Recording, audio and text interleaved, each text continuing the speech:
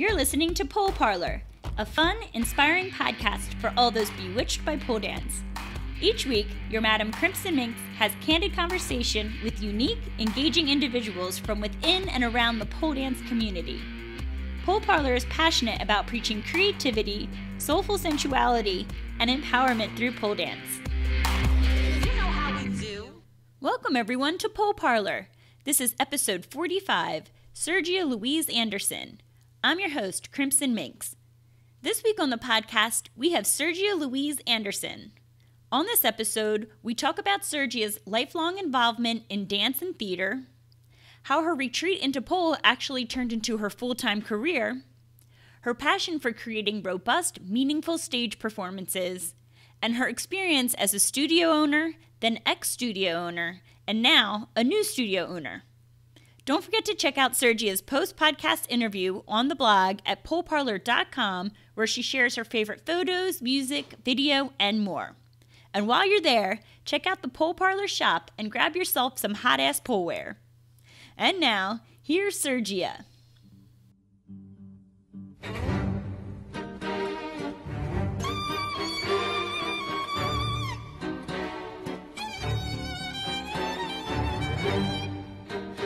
Welcome, Sergia Louise Anderson, to the Pole Parlour podcast. How are you today? I'm good. Thank you so much for having me. Thank you so much for taking the time to talk with us. I know a lot of people are excited for this. oh, cool. I'm excited as well.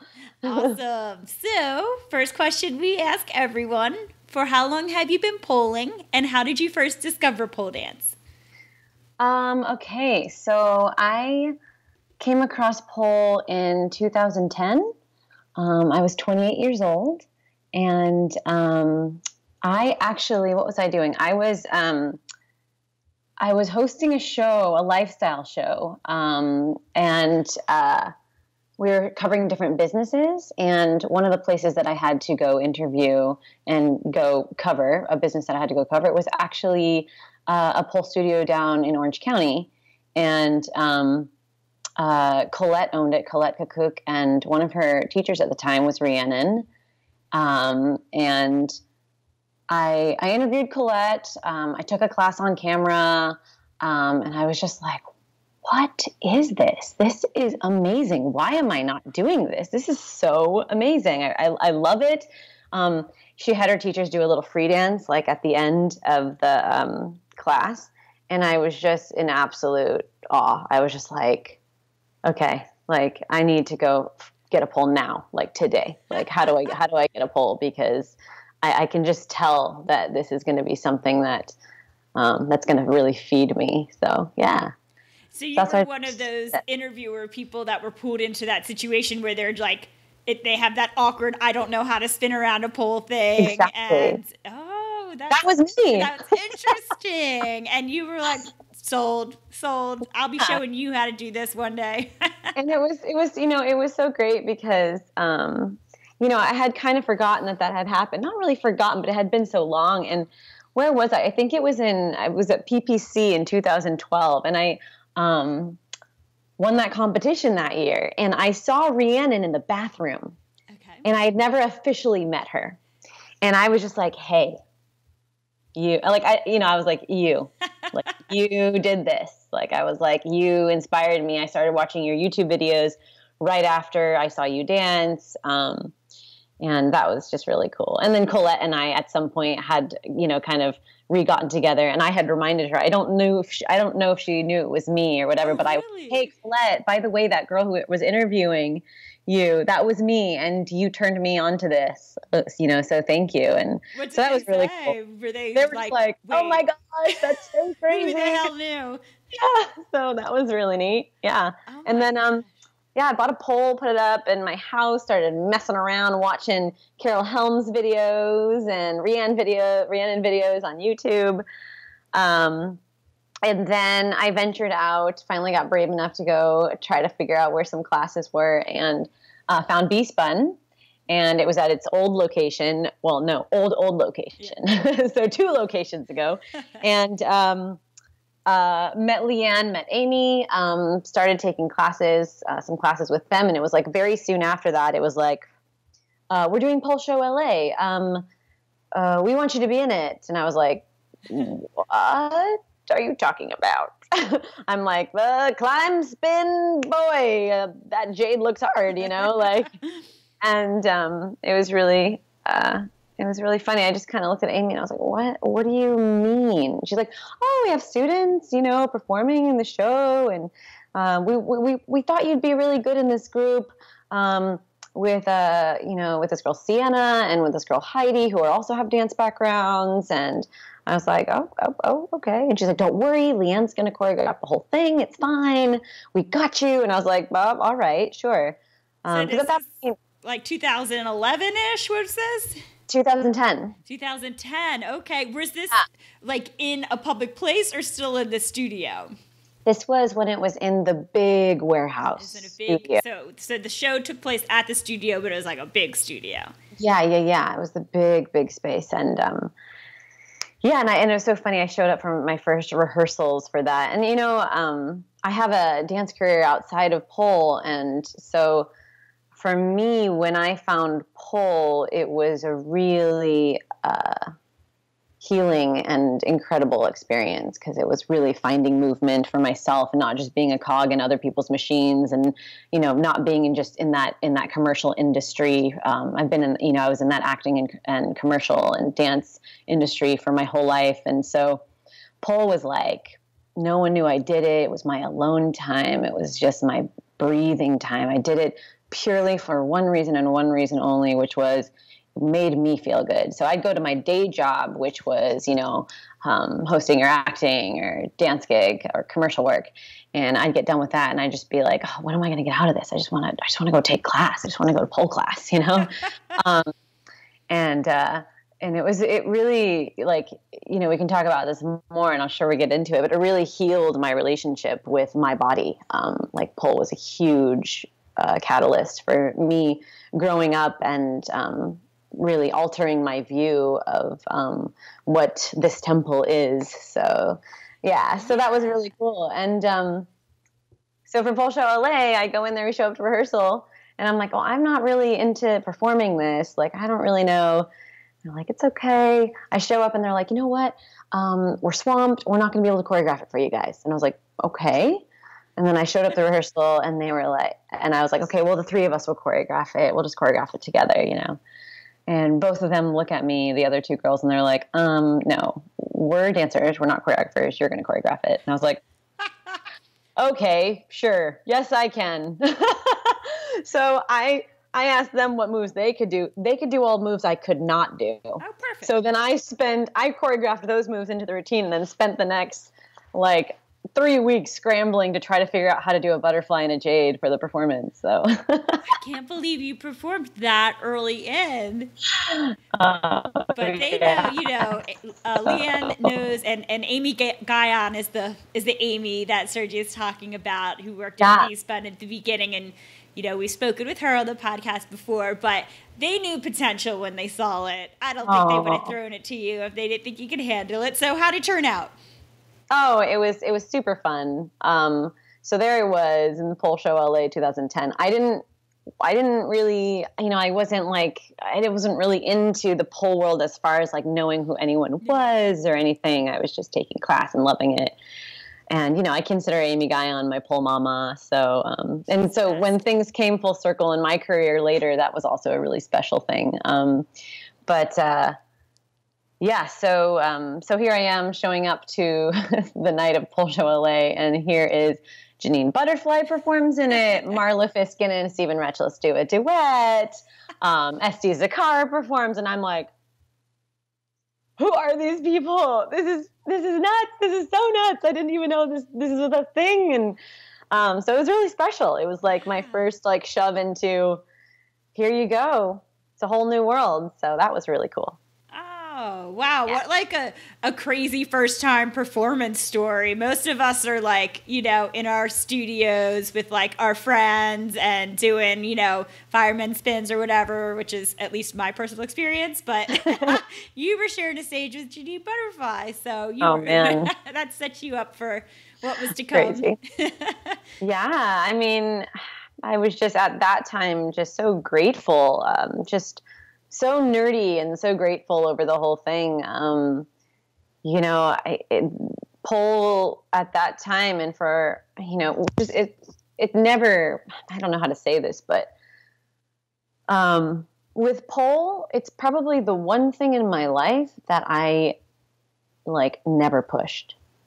Interesting. Yeah, like I never, I was never like, ooh, I, you know, like I want to get really good at that. I want to perform in that. I want to compete in that. I want to teach it. I was literally just like, it's this thing, and it'll, I don't know, You it'll, you know, I, it's it's fun, and that's it. you know, like I never, there were so many other aspects of my life that I was very perfectionist with, and I was really adamant about getting my chops and my own, you know, performance training and growing up and a child and being going through my dance training. You know i was seeking out teachers all over the world. I was studying with them. I was you know i was studying and studying. I was in class. I was you know seeking this career and going after this career and going you know um, you know uh, trying to go to the college i wanted to with the performing arts school that i wanted to and everything was just very um, intense with me and pole was literally just the exact opposite. I, it never stressed me out. I was never like ooh i gotta get that move. I really need that move. I was like meh meh. I might get that move. And that move's not for me. Oh i'm fine. Like whatever so um, it's just it's been a special journey, and it's been like a teacher to me. Pole has been my teacher, you know. Yeah. Yeah, that that's a great way to approach pole. Um, and you prove that you can still be extremely successful with that mindset. So that's amazing. So you mentioned that you have a history in dance and theater. So what is that? Oh boy. So um, guess start at the beginning. I was a strange child. um, so I literally, um, my parents describe it to me as I came out and I was just performing all the time. My dad remembers putting me in his backpack. I wasn't even talking yet and going on hikes, and that I would sing songs to him before I was speaking, before I was actually talking. So I would sing to him while while he walked, and then um, my mom says that uh, you know at three years old there was a performance, you know, every night, and um, it included my stuffed animals, any set pieces I wanted to pull together, pillows. Um, and it was all mediums. It was my drawing up on the wall. It was me coming out and singing. It was props. It was me dancing, improving, moving around. And um, my poor parents, I think they were just like, um, what do we do with this? What do we do with this girl? Um, so, because my brother was just this sweet, gentle um, soul and just this very calm. Um, apparently, I was just this agitated, moving little girl that was loud and that needed to and, and needed to express all the time. Um, so uh, they just looked at each other, and at three years old, they were like, "Okay, we're gonna sign her up for ballet." Yeah. What is she qualified to do right now? Yeah, She's so not don't- super steady on her feet. Um, she doesn't know all the words, so right, exactly. So it was just they were like, "Okay," they they literally just threw me into dance class, and oh my god, I'm so lucky that I had that, like that they did that. I'm so lucky that they gave me an outlet. Um, let's see, I grew. I was born in Portland, Oregon. My um, uh, my my parents, uh, my dad was in his residency up there, so we were doing the um, uh, dad in this doctor residency up in an emergency room up there, and mom working, you know, full two full time jobs pretty much, and um, working with uh, like alternative teenagers and alternative high schools and stuff. And um, so I was born up there in Portland, and then moved down to San Jose area in California. And then when I was in about first grade, I believe we moved up to Santa Rosa, California, which is in Northern California, about an hour north of San Francisco, which is where I am right now. cool. And um, yeah, so they just said, look, let's just throw her in a ballet class. Don't know what else to do. So I actually don't really rem- I don't really remember not having movement a part of my life. I don't have a memory of not having it. Um, and for someone who needed to move around so much and who needed to be um, so active, you know, they said that I they really couldn't even hug me as a child. My as soon as I could talk, it was like too busy for you, too busy for you. Like I'm out of here. no, like I got I got things to do, mom.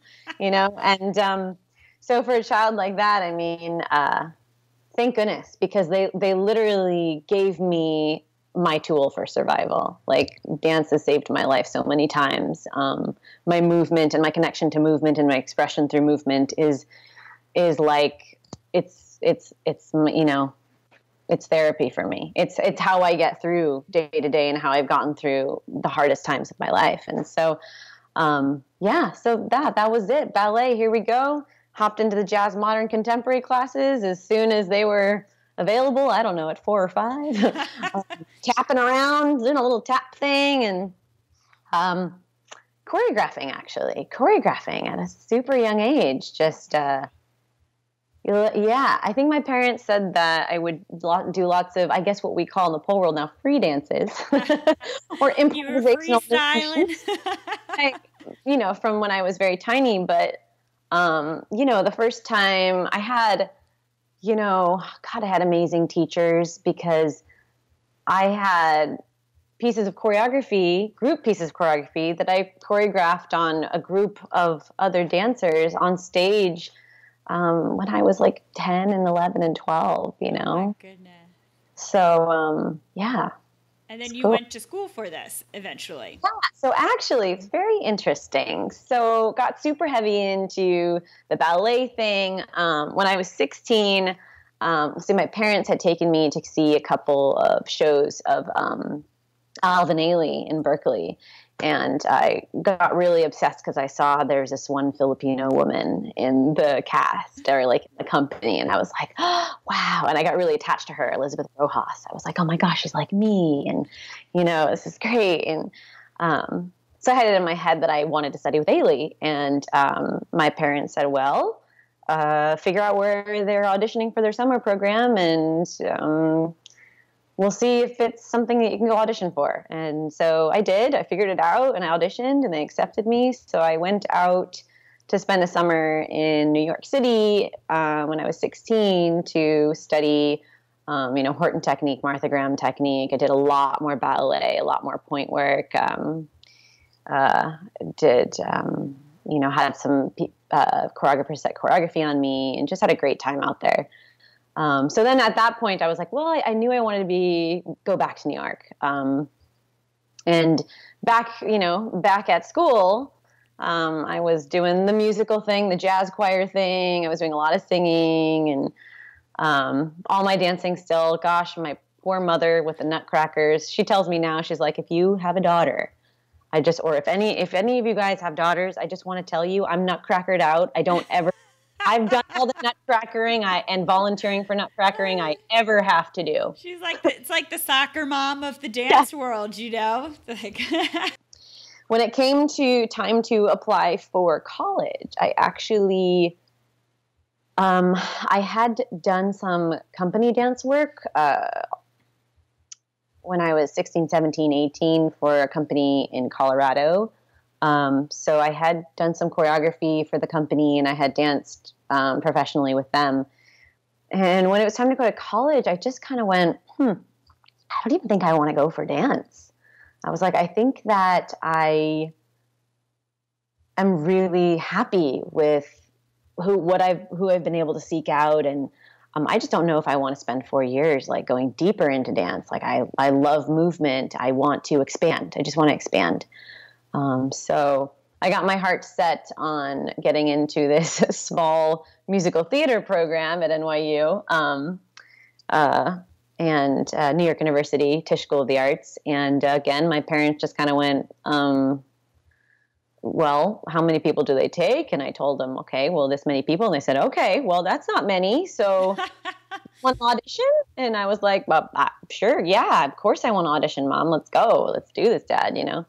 And um, I auditioned and I got in, and they just kind of went, shit. so 18, moved to New York City and um, stayed there for the next eight years of my life.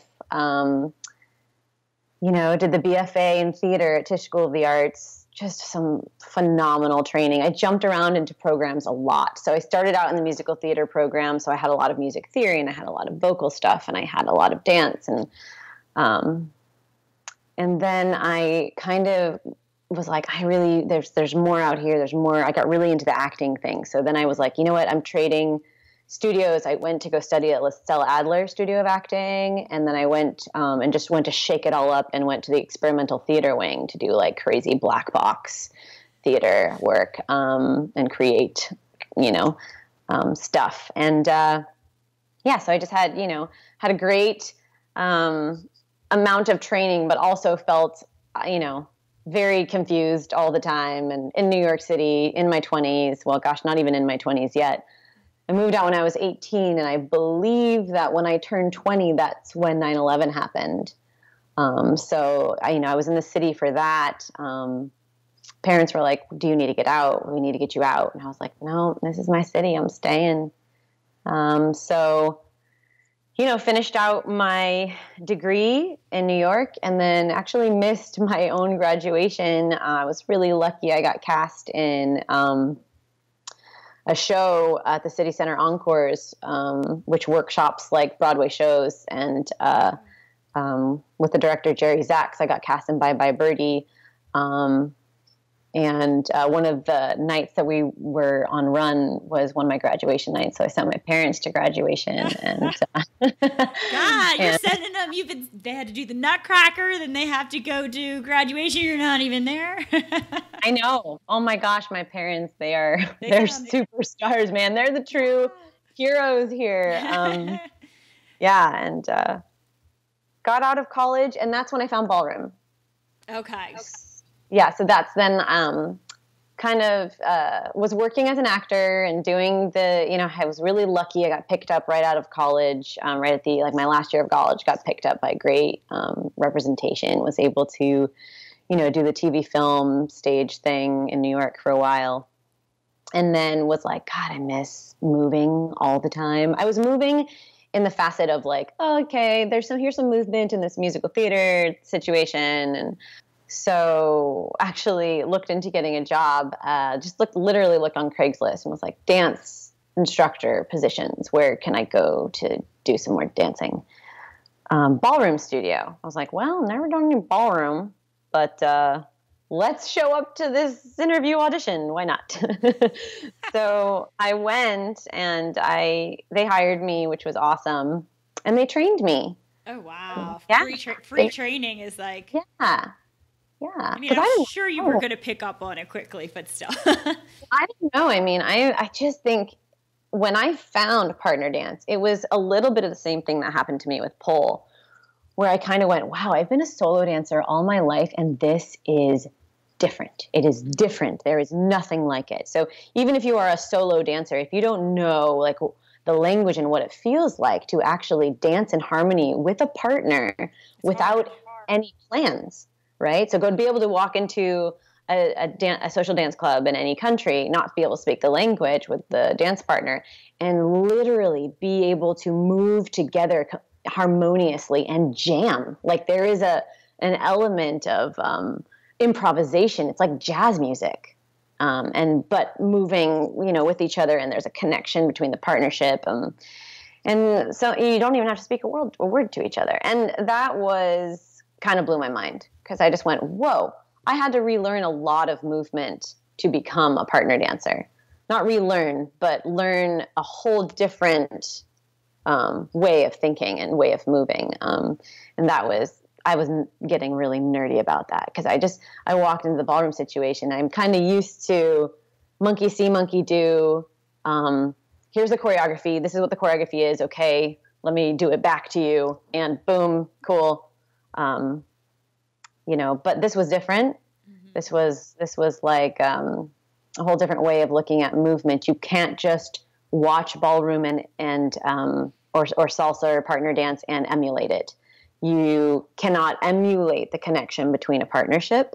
You have to learn that. Um, So that was great. It was cool. And then um, the owner of that studio um, decided he wanted to go into the competition circuit and asked me to see if I wanted to train up to be his partner. Um, and I was like, I yeah, sure, why not? so that's what that's how I kind of hit the salsa scene for a while and did the Gotcha. salsa comps. Okay. Yeah, so that's how that all evolved. Yeah, all of this is very um, apparent and when we watch you pull. You can Mm-hmm. see the influences, you know. So this is interesting how you stepped into all of these. Thank you. And you were yeah, still in New York at this time.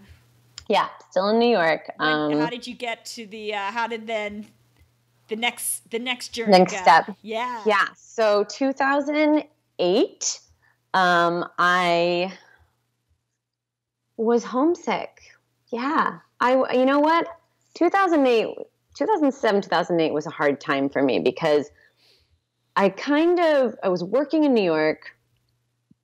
All the things that I thought that I wanted in my life, all of those things that I worked so hard to get, um, and you know, um, studied so hard to get and really wanted to. If anyone ever hired me, I just wanted to be like, you know what? I have the chops to do what they want me to do. I'm confident in my chops.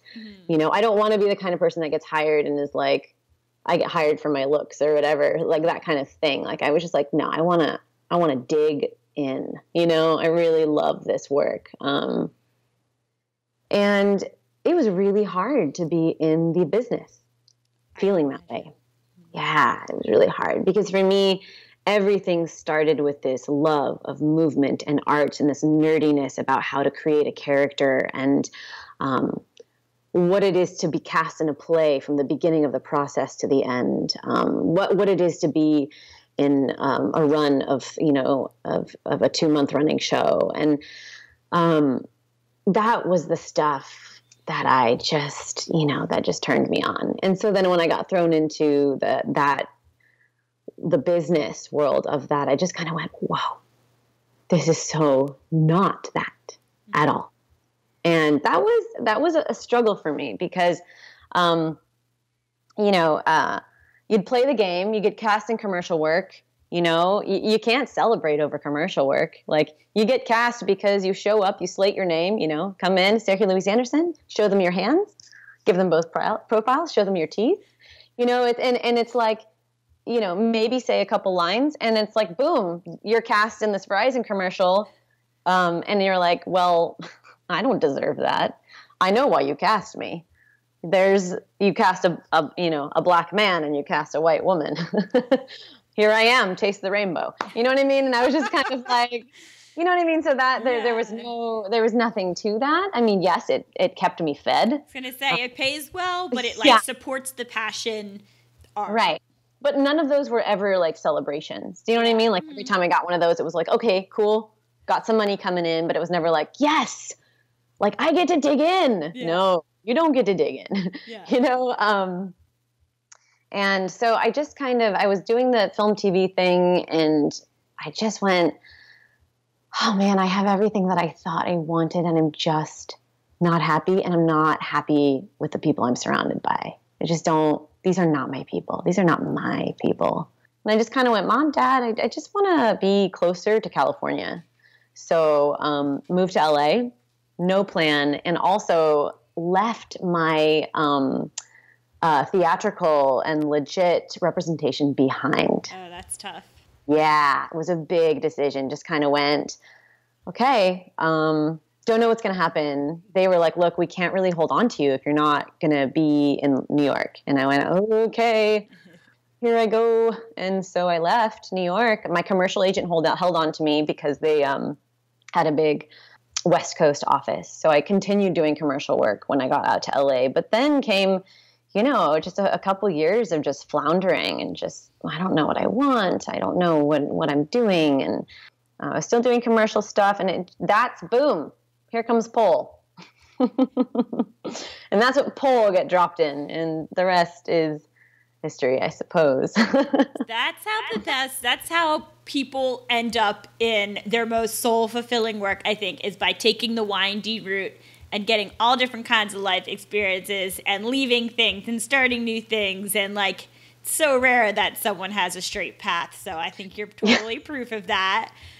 So messy, yeah, messy. But look, I mean, but like I said before, it has all influenced your pole. So, so you found pole, you did pole show LA, and is that kind of when you were like, I'm going to concentrate on this more in like a, a I guess a professional capacity?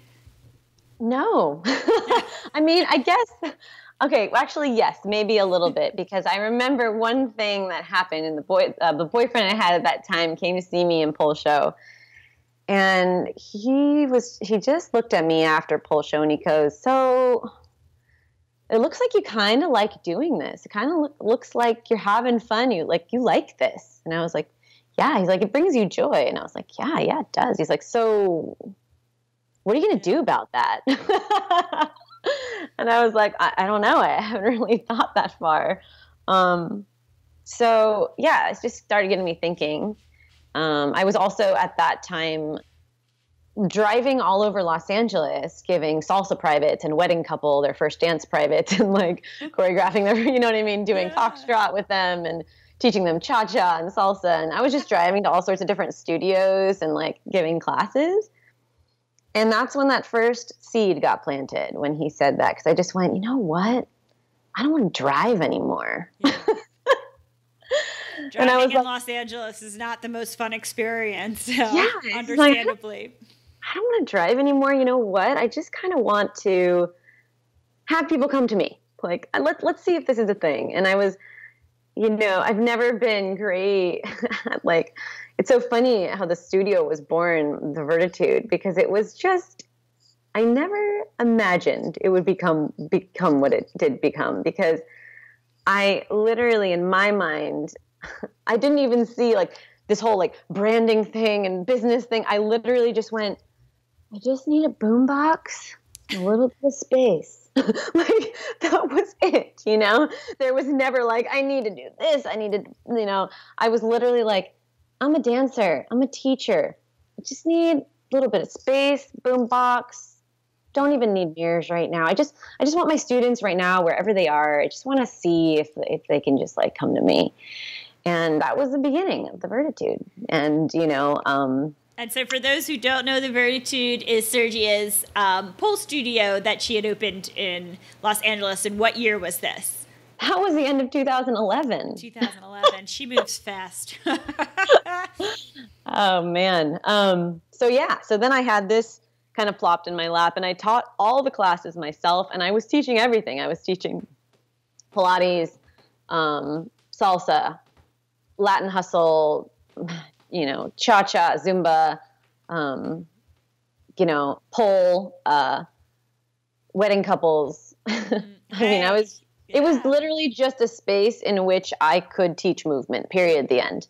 In fact, the poles didn't even start in the big studio. We had a few poles and they started out in the small studio because we thought that that was going to be just a small little thing. Yeah.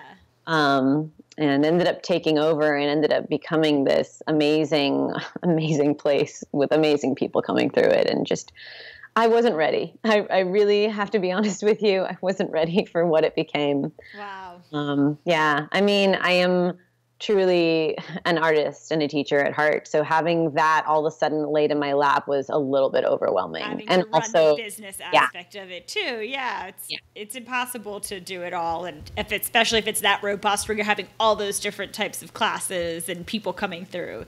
Yeah, and and you know it it it didn't have any other teachers. It was just me. you know, it was me in a space and you know, um, that grew, uh, you know, that grew and grew and grew. And the, you know, um, I remember I was teaching, you know, I don't know, 16, 12, 16 more plus classes a week. And that was like for the first while. I don't even remember. It's a blur. Six months to a year. It was just all me. And, um, and then I brought on my first pole teacher um, who was a friend I had met at a pole studio, and that is my dear friend Iris ah, Sparrow. Iris Sparrow. Yeah. So, um, you know, half of Iris is half of the team of Alloy Images. If you guys don't know. Um, and uh, my friendship with Joe and Iris started right there, and uh, it's so beautiful that they have just um, they've seen it from the beginning. They took my first pole photo shoot. They um, you know, it's it's it's beautiful that we've had the relationship we've had. They've been bosom buddies for all these years. So supportive and just really special people and also incredibly talented. So, It's nice so to have people to lean on and that you can Yeah. count on because, especially, you started not being at that studio that much. So, like, Mm.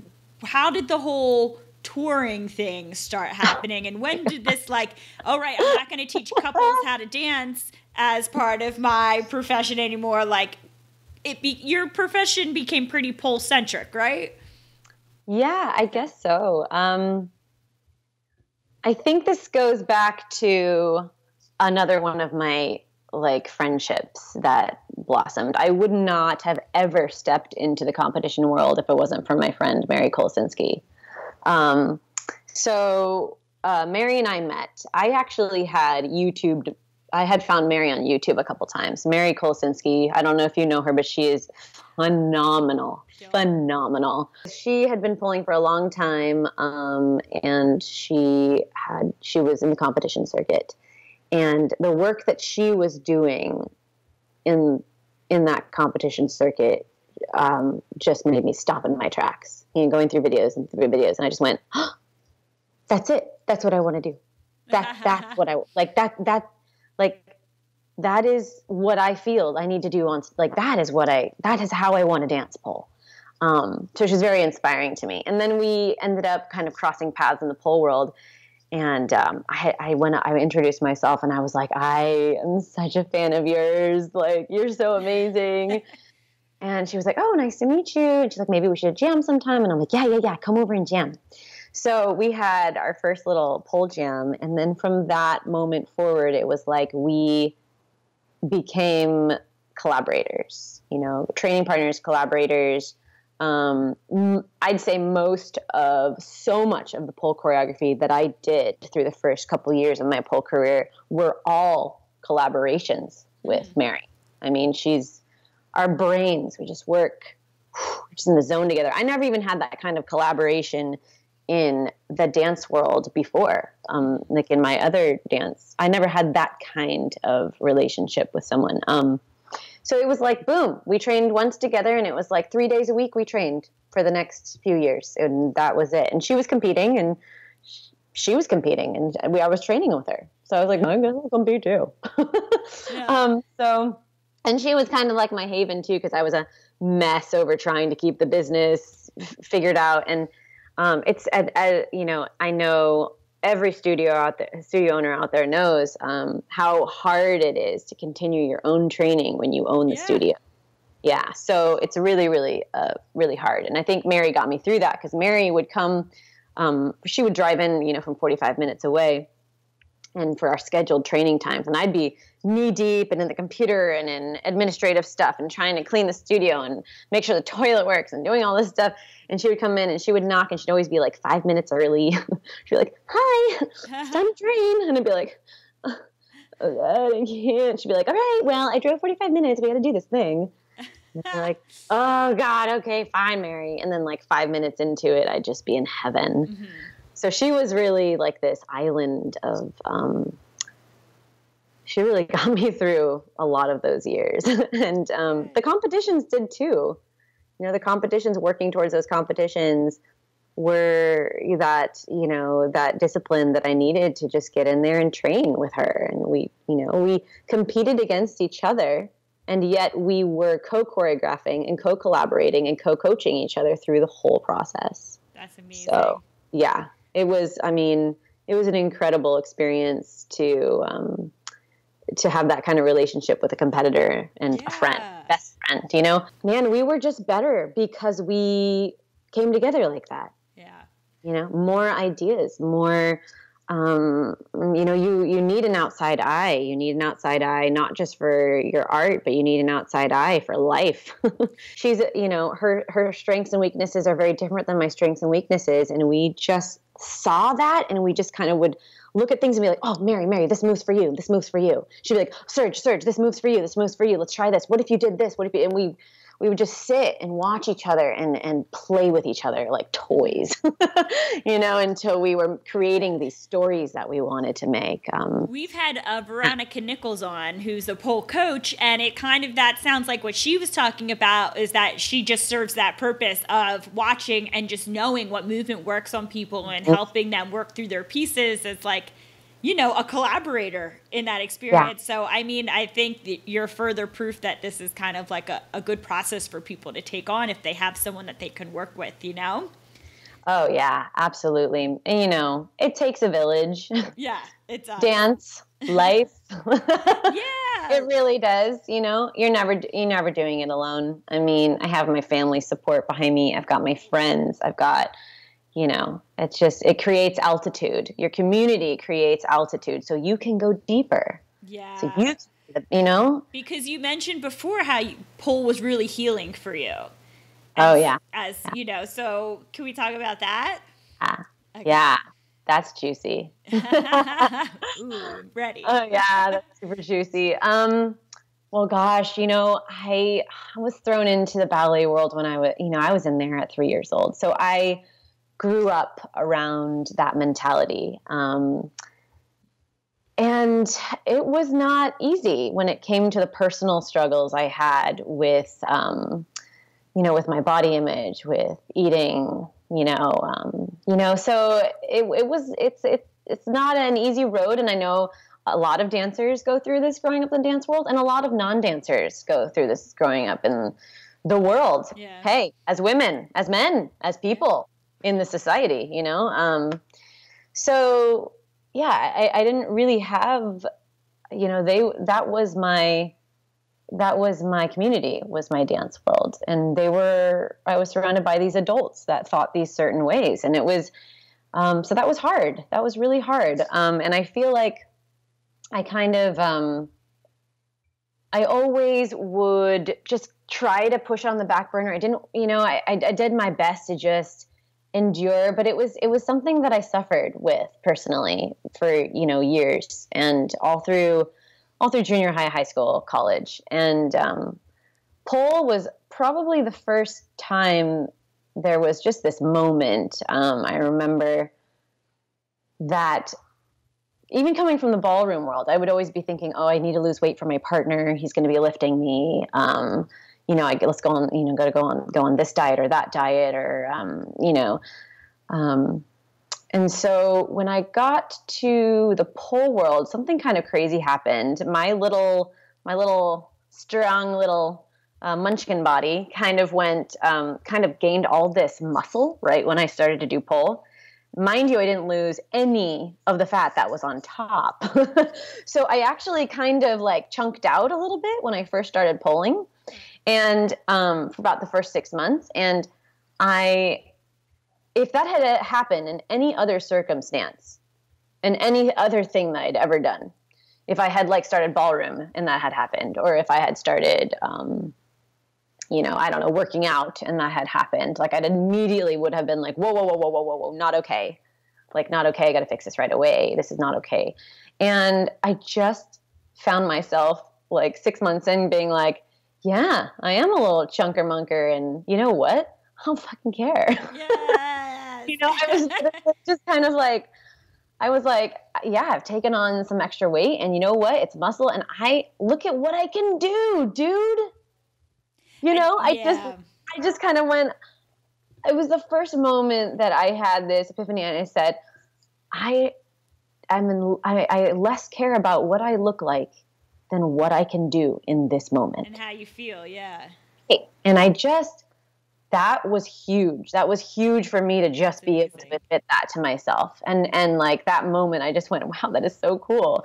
And then it's so funny because I mean, not that it matters at all because pole is for every body. Like, but you know what's so great is that like then you know a year down the road like my body just went zoop and like just like dropped all that extra because it was like you don't need this anymore and um, when I started competition training, and I was just look, you know, looking at food and looking at um, exercise in so much of a healthier way, and um, just you know, there was there's still a lot of stuff that I deal with my body, but um, so much more wisdom, so much more altitude, so much more. Um, I can breathe through it. It doesn't rule me, and um, and my, you know, what I can do and the gratitude I have for what my body can do is so much greater than you know than than that. So It, mental health is connected, you know, with with uh, is one of your health pillars. So the fact that you found like this mental health that then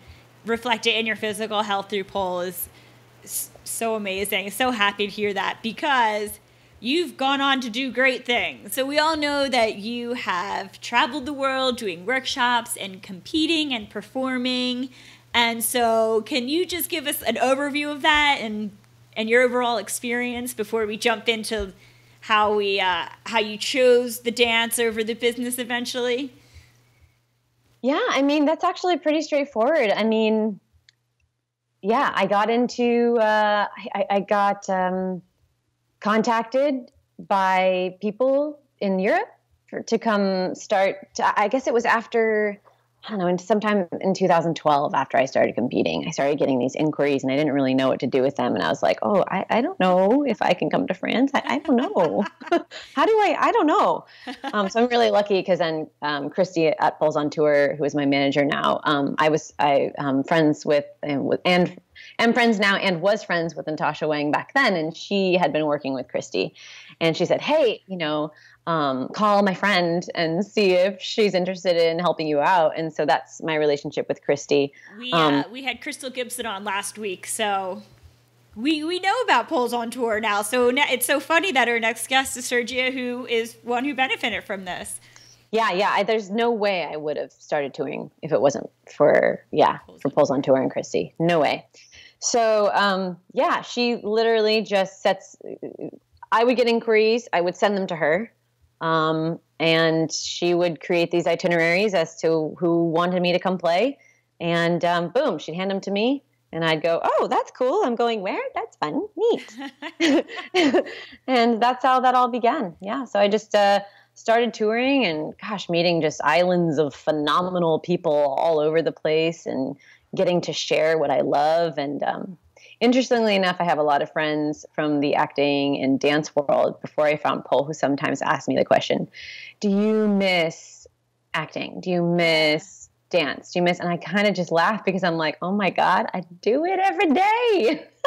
and I teach it every day. Yeah. I mean, I am teaching theater. I am teaching theater. I am teaching quality of movement. I am teaching contrast. I am teaching stagecraft. I am teaching, and I'm teaching pole tricks and pole movements and how to make them the most full and how to command a stage and and um, get an, get an audience on your side and all that. So um, so no, I don't miss it. Like this is like a you've perfect integrated niche. it into I your get to career. yeah. Yeah, so we're going to have to have you come back at a future time to give us all this super advice that you've come up with over the years through all of your studies and experience on uh, what makes for great performing and uh, great great stage presence all that because i feel like you're a wealth of knowledge there but we just don't have the time because we're Yeah. focusing on other things but you prefer teaching performing competing one over the other or like you just like them all Um, well, you know, competition was never, I never really did it for competition. I did it because at that time it was really the only place to put a piece of pole art on stage. And um, I remember people asking me and Mary, oh, what are you going to do for competition? What are you going to do? What are you going to put together? And the answer is that we always, I'd always hear us say, we'd always say, well, I have this idea, I have this thing that I kind of want to, the story that I want to tell. Um, I don't know if it's really going to be competition material, but I'm just going to do it. cool yeah, so um, that was kind of the experience behind competing. Um, and I did it with a friend. Like, you know, I, it's for me, I, it was never really about the winning. It was just, man, I, I, I, I, I got a good story and I really want to dig in and get it on stage, you know, um, and really want to share it with the world. Uh, let's see, uh, performing in, you know, just intrinsic to my being, Yeah. you know, yeah. But um, I, I feel like as I get older, I don't have a need. There's not like a, a need Oh, to do it. Like I do it because I want to every once in a while. Um, but I'm not like, oh, I need to be on stage, you know? Um, uh, for me, training. the making of the competition routines, the choreographing of the performance routines, that process is what I live for. The process, not It's like not the theater thing that you said before, how you Yeah, like being yeah. involved in a production from day one and right right it's that process and and all the ups and downs you go through through that and how you how you change your mind a thousand times on who that character is and how your homework behind that character starts to fill it out and and bring it into this um this vulnerable being and how um you know how you can get the audience to on, on board and relate to that and how you can show the moments of strength and the moments of weakness and how you can show that hero's journey and just all that yummy process. If I didn't even get to perform the piece on stage, actually, fine, cool, I don't care. It was a process for me that is the most exciting. It's, it's just the cherry on top to show up on the day of the performance and do the home and put the homework on stage. Yeah, so for me, the art. It's like the whole the art process of it, the creative process. yeah, yeah. So right now, so you have sold the Vertitude. Yeah. So mhm. what was the decision behind that? And now, so what does that allow you to focus on? And kind of where's your career at present? Absolutely. Well, selling the Vertitude had a couple different things in mind. Um, one was which I kind of didn't want to be in LA anymore. So I had this kind of vision, this goal that I was going to move back up to Northern California. That's one. And two, you know, I started touring heavily in 2013. Um, and I just like to tour full time and be home an average of three to four months out of the year Oh, wow. it, it was and, and to still own that place and keep it running and keep it healthy and keep it um, renewing and keep it evolving was really really hard you know it was just really hard.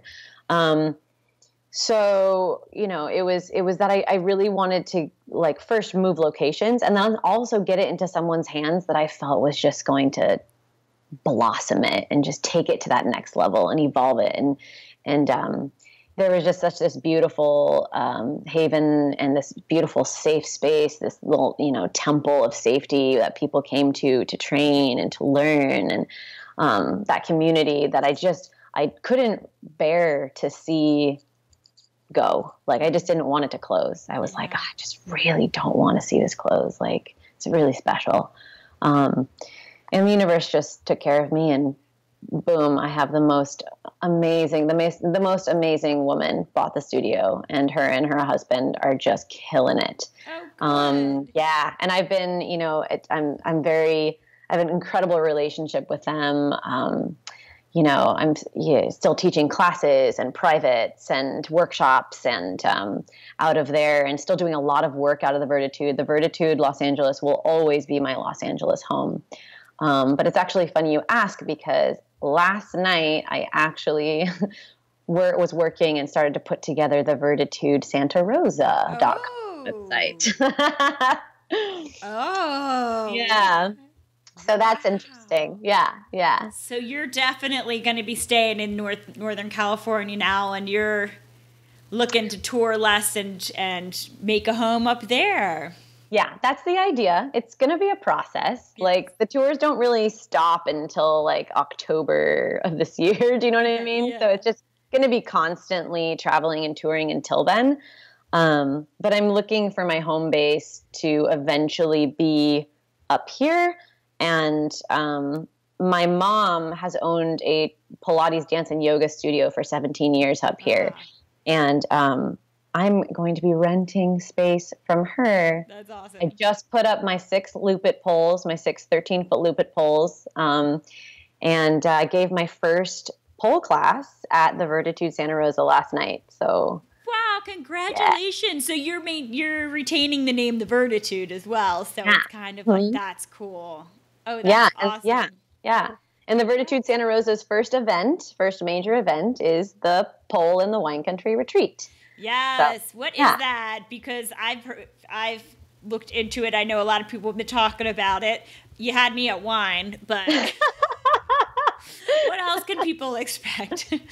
Yeah, so I grew up here. I grew up in Santa Rosa. It's just been my dream to kind of make this a, a bit of a family affair. Um, it's at my mom's studio, Um, you know, uh, my sponsor, Lupit Pole, are providing all the poles. We've got floor to ceiling poles and we've got stage poles.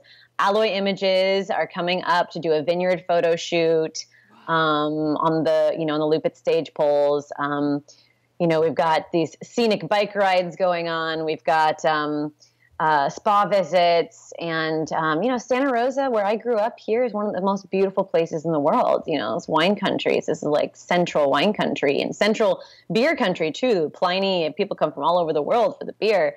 And my brother is a winemaker in napa. Nice. so we have access to taste and to walk through the private vineyards and do exciting things like that. And um, to have this all in my hometown to show the world and all the people that I go touring all around the world and teaching and meeting all these awesome people that I get to bring them here and like show them a little bit of the heaven that is here. And we can just drink wine, dance pole, not in that order, but, but you know, and and I've you know I'm I'm a total body nerd, so I've gotten into the acro yoga thing and the acro standing acro thing over the last you know been pitter pattering in that for the last couple years. Um, whenever I've had time for myself to do training for myself, yeah. and um, so yeah, we're gonna have acro yoga, we're gonna have handstand training, we're going to have flexibility training, we're going to, uh, of course, it's me. We're doing a lot of dancing, my friends. We're gonna got contemporary movement, pole movement. Um, so contemporary pole movement, we're going to be doing um,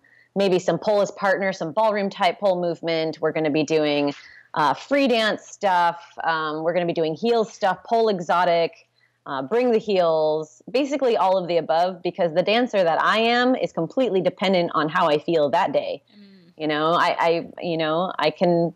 Some days I want to go in and trick, trick, trick, trick, trick. Some days I want to work on those transitions. Sometimes I don't want to go up at the pole at all. Sometimes I need to put on my nine inch boots and just dance it out. Um, sometimes it's all contemporary movement for me. I don't judge it. I don't label it. I just do. I, I groove and how I feel. And um, the pole is the apparatus. The pole is not the style. So, yeah. Hell yeah. Yeah, so we're gonna have a good So, time. yeah, there's a lot going on. So is this how many days is this for? Yeah, so it's June 21st through June 25th. Um, so it's a Wednesday through a Sunday. And I just opened up online. If you go to poleinthewinecountry.com, I just opened up the weekend pass as well. So if you can't make it out for the Wednesday through Sunday, you could come just for the Saturday, Sunday. Oh, cool. And so, and also Natasha Wang and Iris Spar- Sparrow will be there. So, you know, it's it's going to be a good old time. So I'll put a link Yeah. to that in the show notes so people can check that out. That's so fun. That's so fun that like, you know, again, you're very good at moving on to the next step and like following like, okay, what do I want to do now in my life? You know, what am I feeling now because you know, it, some people may feel like they have to stay this one course that they're on, but look, you're cre- you're just creating, creating, creating. So I'm just loving it. I'm loving being up here. I'm loving the idea of planting some roots, doing a little bit less touring. Not a ton, but Yeah. a little bit less touring. Maybe one big Europe tour a year, and the rest to like stick around for some U.S. weekends. So yeah, this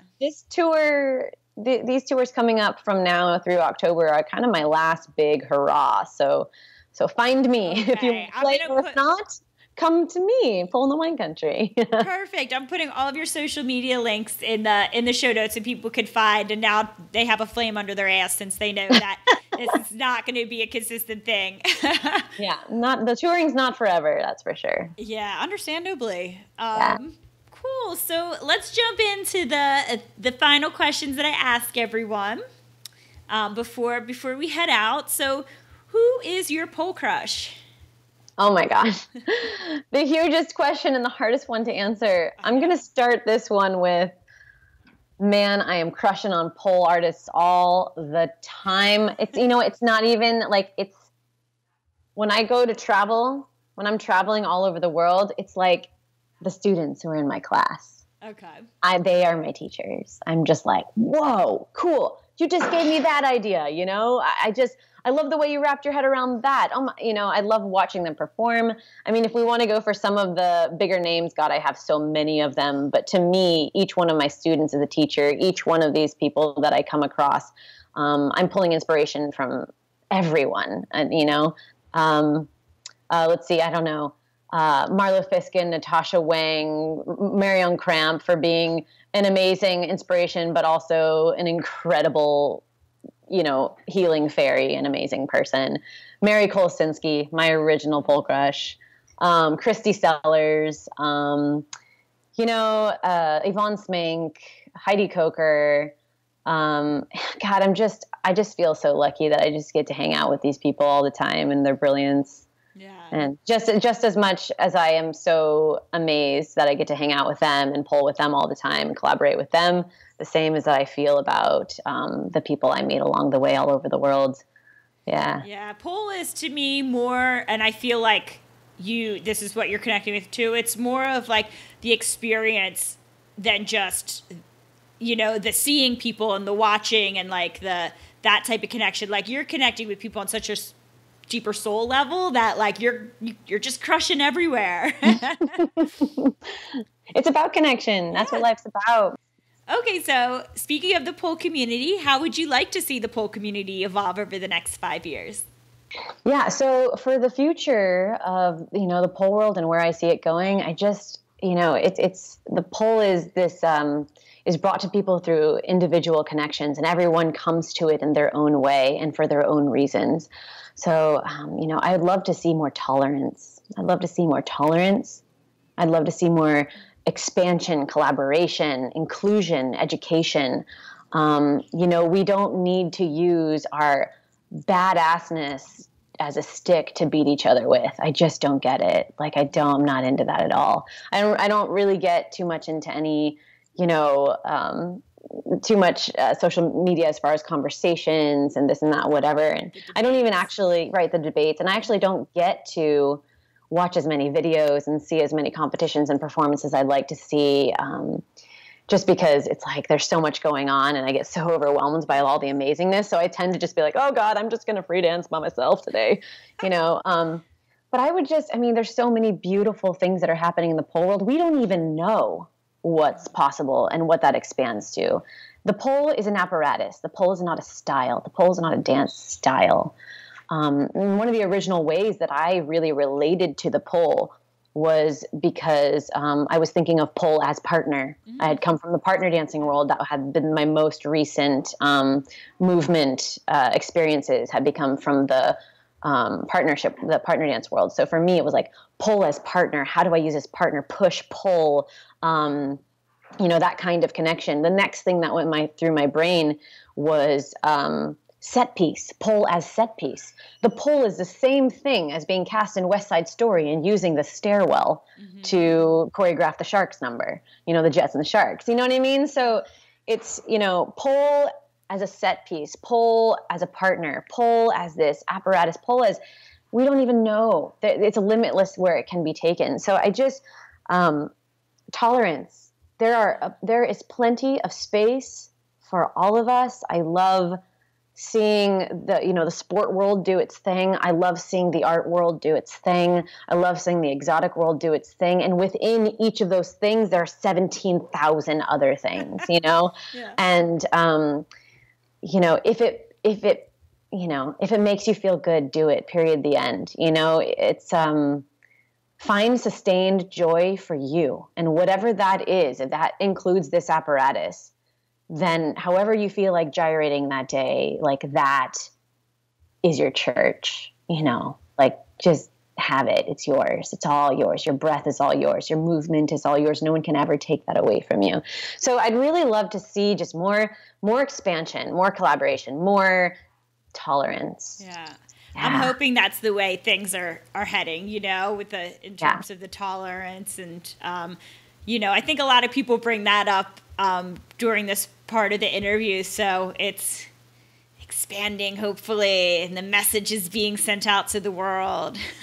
Yeah, and I think that no matter what we do, it will do that. yeah, yeah. You know, it's this it's it's it's its own it has its own life. It has its own will and um it will continue rolling on and evolving and changing um as we go and you know, if we can just say this is how I love to do it um, and wow isn't that cool how you're doing it as well and um, you know let's let's come together. We get enough, I feel, judgment from um, from mainstream anyway. Like Mm-hmm. let's let's enjoy each other's uh, creations. Yeah.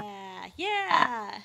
And speaking of creations, um, I feel like we covered a lot of the things that you have coming up, but there's one thing I know that we did not talk about, which is Complete Pole. So, Yeah. what is that? So CompletePole.com is where you can find tutorials from me, Mary Kolsinski, Jennifer Kim, Catherine Voorhees, um, and Iris.